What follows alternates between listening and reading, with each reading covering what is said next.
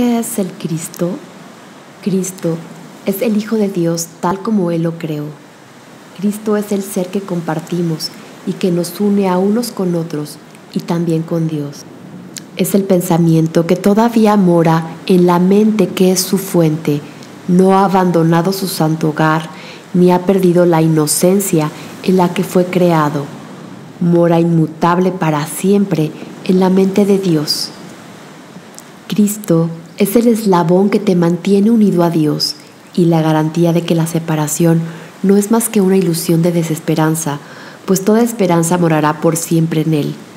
Tu mente es parte de la suya y esta de la tuya.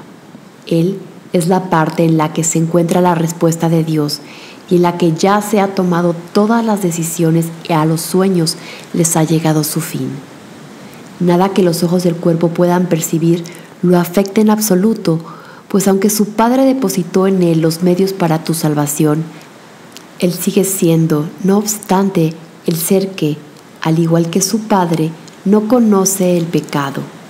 Al ser el hogar del Espíritu Santo y sentirse a gusto únicamente en Dios, Cristo permanece en paz en el cielo de tu mente santa. Él es la única parte de ti que en verdad es real. Lo demás son sueños, mas estos se le entregarán a Cristo para que se desvanezcan ante su gloria y pueda por fin serte revelado tu santo ser, el Cristo. El Espíritu Santo se extiende desde el Cristo en ti hasta todos tus sueños y los invita a venir hasta Él para que puedan ser transformados en la verdad. Él los intercambiará por el sueño final que Dios dispuso fuese el fin de todos los sueños, pues cuando el perdón descanse sobre el mundo y cada uno de los hijos de Dios goce de paz, ¿qué podría mantener las cosas separadas cuando lo único que se puede ver es la faz de Cristo? ¿Y por cuánto tiempo habrá de verse esta santa faz?